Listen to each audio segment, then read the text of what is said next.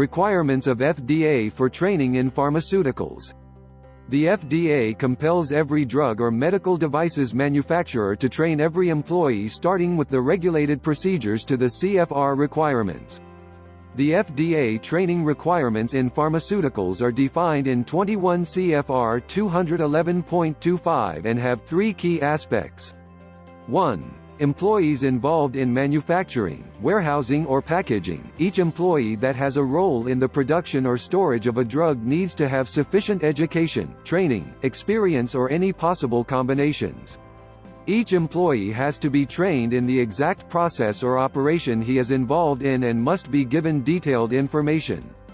The training of each employee must include the CFR regulation and the written procedures specific to his role in the company.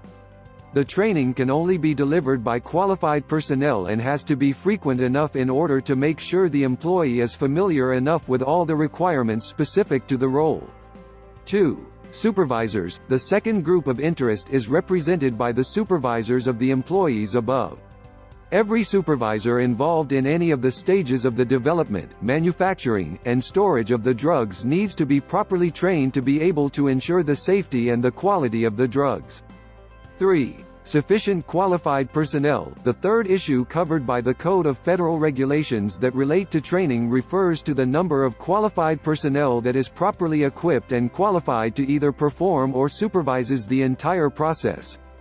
In other words, the pharmaceutical company needs to make sure that they have enough qualified personnel to manufacture the drugs and supervise the process. This is an important issue because fewer employees mean a high workload which in fact leads the employees to a sloppy work and mistakes the pharmaceutical industry can't afford. The training programs, the senior management team is responsible to ensure successful training programs for all employees. Such a program must include following.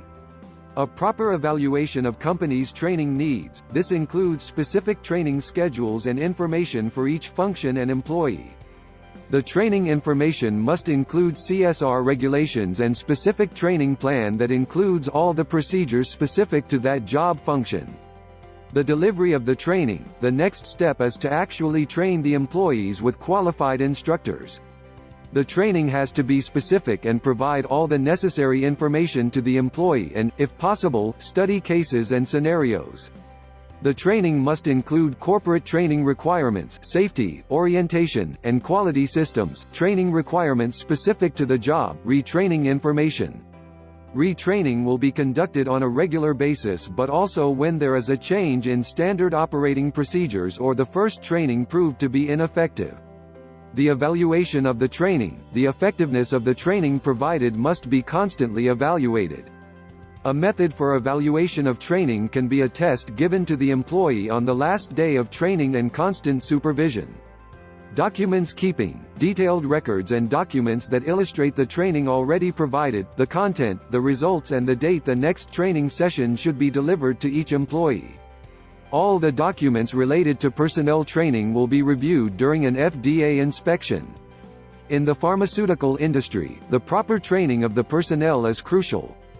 To meet the FDA requirements the company needs to develop a complete, detailed training program that will lead to a successful training of all its employees. Don't forget to subscribe this channel. And also hit the bell icon to get regular updates. Thanks for watching this video, watch more videos, we have created a lot of videos for pharmaceuticals.